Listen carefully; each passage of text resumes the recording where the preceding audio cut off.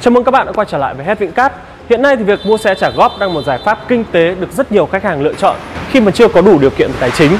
Mua xe trả góp sẽ giúp cho các bạn có một khoảng thời gian dài hơn để chi trả dần cho việc mua xe và giảm bớt áp lực tài chính vào một thời điểm nhất định. Trong video ngày hôm nay, hãy cùng Hết Vịnh Cát tìm hiểu chi tiết về thủ tục khi mua một chiếc xe trả góp các bạn nhé. Đầu tiên thì chúng ta hãy cùng điểm qua một số lợi ích khi mua xe trả góp. Thứ nhất là các bạn có thể sở hữu ngay một chiếc xe Honda yêu thích trong khoảng thời gian chỉ từ 30 đến 45 phút. Thứ hai là chúng ta không cần phải chi trả ngay một khoản tiền lớn để mua xe, cũng không cần phải thế chấp tài sản. Thứ ba thì thủ tục trả góp hiện nay rất là nhanh chóng và thời gian trả góp thì ngày càng linh hoạt. Và thứ tư là các bạn vẫn sẽ được hưởng những ưu đãi khuyến mại vô cùng hấp dẫn tại hết cùng với chế độ bảo hành chính hãng của Honda. Các bước khi mua xe máy trả góp. Bước thứ nhất là lựa chọn ngay một mẫu xe Honda mong muốn tại đại lý chính hãng để nhận đủ khuyến mại theo xe và chế độ bảo hành chính hãng.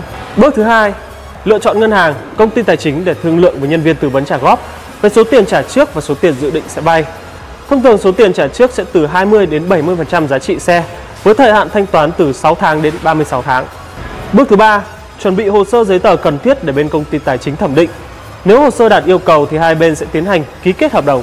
Bước 4, hoàn tất các thủ tục thanh toán theo khả năng chi trả tại thời điểm mua xe. Bước 5, nhận xe mới và giấy tờ liên quan. Hiện tại thì thủ tục trả góp xe khá là đơn giản và nhanh chóng. Tuy nhiên thì khách hàng cũng cần lưu ý một vài điểm như sau.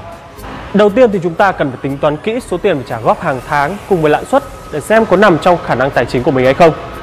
Thứ hai là chúng ta cần phải lựa chọn thời gian thanh toán hợp đồng phù hợp để đảm bảo chi phí trả hàng tháng đúng thời hạn.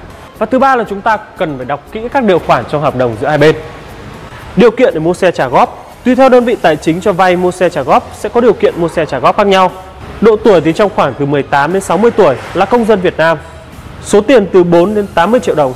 Số tiền trả trước là tối thiểu 20% trên tổng giá trị xe. Thời hạn vay từ 6 tháng đến 36 tháng. Giấy tờ thủ tục cần thiết chỉ cần căn cước công dân.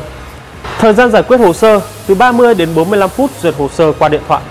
Đăng ký xe, khách hàng giữ lại bản sao, còn bản gốc đơn vị tài chính sẽ giữ lại. Sau khi thanh toán xong phần trả góp sẽ được nhận lại bản gốc. Hình thức thanh toán có thể thông qua ngân hàng, bưu điện, các trung tâm. Khoản phí phải trả nếu như khách hàng thanh lý hợp đồng trước thời hạn từ 4 đến 5% dư nợ gốc cộng với số nợ gốc còn lại. Vừa rồi thì HBK đã chia sẻ tới các bạn về thủ tục chi tiết khi mua một chiếc xe trả góp. Nếu các bạn có bất kỳ thắc mắc nào, hãy liên hệ tới hotline 0942 580505 hoặc tổng đài miễn phí 1800 558808 để được tư vấn và hỗ trợ. Xin chào và hẹn gặp lại các bạn trong những video tiếp theo.